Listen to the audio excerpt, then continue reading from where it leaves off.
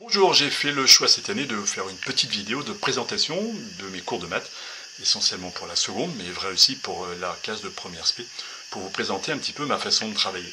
La base de la démarche, une façon un petit peu originale et particulière de travailler, la base de cette démarche a quatre éléments. Le premier élément, c'est l'hétérogénéité très importante. Je ne vais pas détailler, c'est quelque chose de très connu qui n'est pas propre à notre établissement.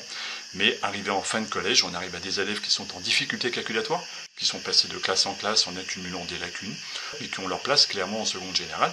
Et ces élèves-là côtoient des élèves qui ont bien marché, bien réussi dans leur collège. Du coup, dans le même groupe classe de seconde, on va arriver à des profils extrêmement différents, avec des maîtrises des techniques calculatoires de base qui sont extrêmement variées et qui rendent le groupe classe du coup difficile à appréhender.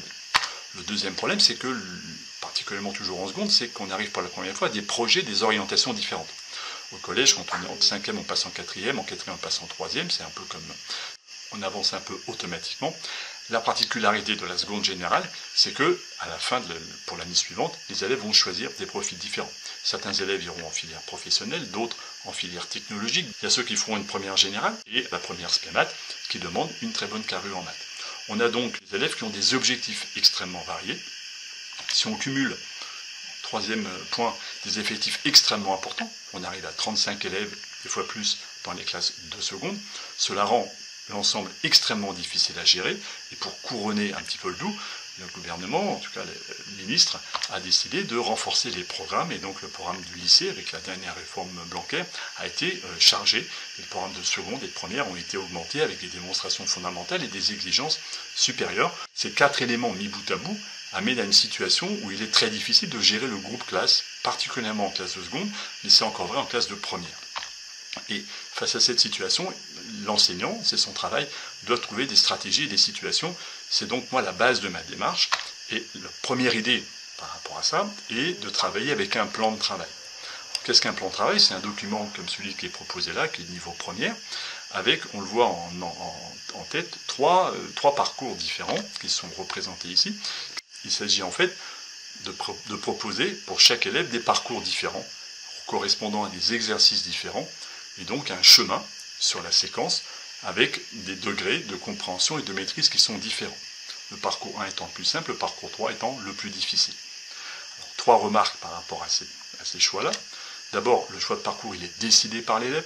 C'est pas moi qui vais attribuer un parcours à un élève. L'élève sait très bien son niveau de départ, là où il veut aller l'année prochaine. Donc c'est lui qui va déterminer. Je me lance dans le parcours 2, dans le 3, dans le 1, et c'est très bien comme ça. La deuxième idée, c'est que les parcours doivent être adoptés évidemment à leur profil. Chacun pourra décider en fonction de ce qu'il estime important.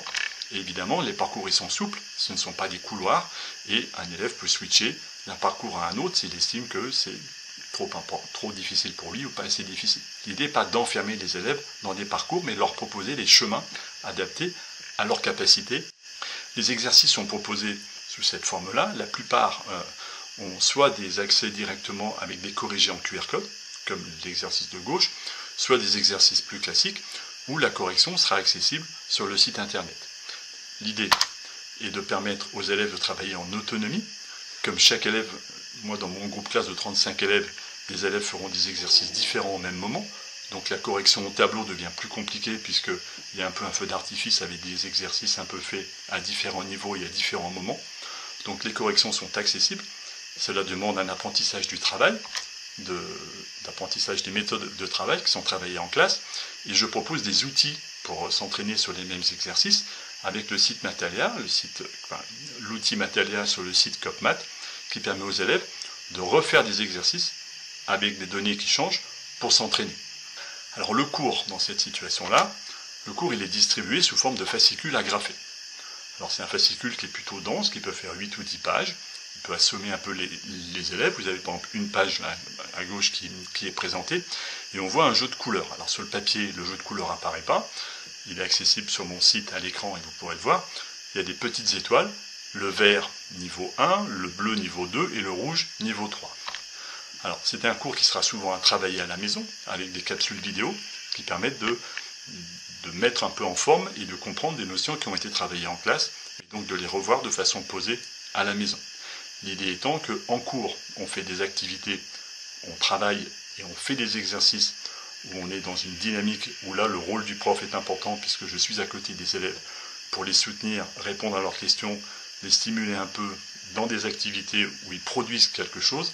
L'activité juste de formaliser le cours, le relire, le, synthétiser, en faire des fiches, etc. Ce travail-là peut être fait à la maison avec le document papier qui est augmenté par des podcasts et par des cours en vidéo. Le cours est donc à trois niveaux et chacun pourra donc adapter. Il y a des méthodes de cours qui sont dans le cours papier, comme ici on voit euh, comment résoudre une équation du second degré cas numéro 1. Et donc ces méthodes, qui sont des cours à trous, seront complétées en classe. Donc je prends quand même le groupe classe à un moment donné en cours pour retravailler des stratégies, des méthodes et les caler ensemble. Ceci dit, les élèves les plus à l'aise ont souvent, comme on le voit ici, un QR code avec la vidéo et peuvent travailler, s'ils vont plus vite, en avance et compléter eux-mêmes. Liberté à eux, s'ils estiment que c'est dans leur corde et qu'ils comprennent, ils ont les outils pour ça. Moi en classe, je fais ce que j'appelle la voiture balai, c'est que je vais dire demain nous faisons la méthode numéro aujourd'hui par exemple nous commençons on fait la méthode numéro 11 et je vais m'adresser aux élèves qui ne l'ont pas encore fait et peut-être que 5 ou 10 élèves auront déjà en avance ayant été plus vite que les autres déjà travaillé cette méthode déjà comprise avec la capsule vidéo et si ça leur suffit aucun intérêt pour eux de suivre une deuxième correction les élèves décident donc même la partie cours que je peux faire peut être segmentée avec différents élèves et pas forcément le groupe classe dernier exemple une démonstration de niveau 3, lourde, difficile, une démonstration fondamentale que je ne peux pas imposer à tous les élèves. Elle est importante pour les élèves les plus matheux, ceux qui veulent se diriger vers des écoles d'ingénieurs, des écoles prépa. Je ne peux pas imposer ça à tous les élèves. On peut imaginer à un moment donné prendre une partie des élèves qui se sentent le mieux, les plus à l'aise, une dizaine d'élèves, et travailler avec eux simplement la rigueur de cette démonstration pour aller à un niveau bien plus élevé et laisser les 20 autres élèves travailler leurs fondamentaux tranquillement. Régulièrement dans le cours, il y a des QCM qui sont identifiés. Et moi, je demande aux élèves de les faire très régulièrement. Ça me permet d'avoir un suivi, de savoir qui est passé par là. Ça permet aux élèves aussi de vérifier leur compréhension du cours. Donc après chaque notion, il y a un petit QCM. Je m'évalue. Ça permet de savoir si j'ai compris ou si j'ai pas compris. Il est fondamental que les élèves aient régulièrement des petits comme ça, euh, des petits tests qui leur permettent de se positionner. Alors comment ça se passe en classe concrètement? Eh bien en début de cours, il y a des petits rituels et on commence souvent par une question flash. Une question flash, ça va être un petit QCM voyait souvent au tableau, qui va être un point sur la leçon. Donc moi je fais la voiture balai quand j'avance dans mon cours, certains élèves peuvent être plus loin, mais moi je fais le rythme minimum qu'il faut atteindre. Et donc à chaque cours, on va poser 3-4 questions sur ce dont on est en train de travailler. Ça permet de restimuler un peu, de, réviser, de rediscuter, de faire un point sur le cours. Quelle erreur, attention, ça vous avez compris, ne pas confondre, etc. Petit point de 5 à 10 minutes. Après, on peut détailler certaines méthodes de cours, comme je l'ai vu, comme on l'a montré précédemment, avancer le cours pour le structurer un peu, et après, travailler en autonomie sur le plan de travail. Et là, les élèves se retrouvent éclatés à travailler là où ils en sont. Voilà quelques petites photos euh, prises de cours euh, l'année dernière. On voit ici donc une photo de classe où les élèves sont en îlot. On voit au premier rang euh, trois élèves qui travaillent. Ils ont accès à une tablette où il y a des énoncés et des corrections, ils travaillent ensemble. On voit un élève suite droite qui explique à ses deux copains des notions. Derrière, il y a un tableau, il y a trois tableaux dans la classe. Donc sur un tableau latéral, on voit des élèves qui discutent et qui polémiquent sur un exercice où ils ne sont pas d'accord. Ils sont quatre ou cinq et ils sont dans une situation où ils confrontent des analyses et une approche différente sur un exercice. Et sur la photo de droite, euh, un peu quand on suit un peu la, la classe, il y a un autre tableau au fond où là il y a une élève très à l'aise qui explique à quatre copines une notion qu'elle n'avait pas comprise. La fille était largement en avance, marche très bien, et avait donc expliqué à ses copines comment répondre des notions fondamentales. On voit donc au premier rang là des élèves qui travaillent entre elles.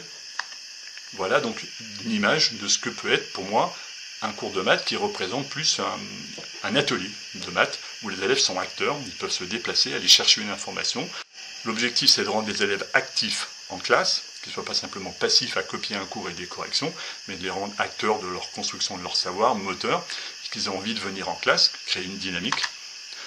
En développant l'autonomie, l'organisation de travail chez les élèves, permettre de s'organiser dans un plan de travail, dans un cours, pas mélanger les informations, les, documents, classer tout ça.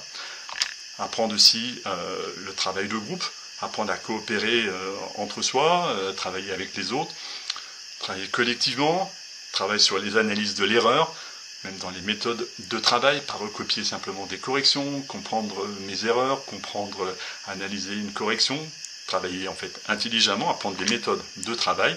L'idée est de permettre à chaque élève d'avancer à son rythme en fonction de l'objectif qu'il va avoir. Je reste à votre contact euh, pour quoi que ce soit. Vous avez mon mail mattguillon.gmail.com et mon site mattguillon.fr. À bientôt.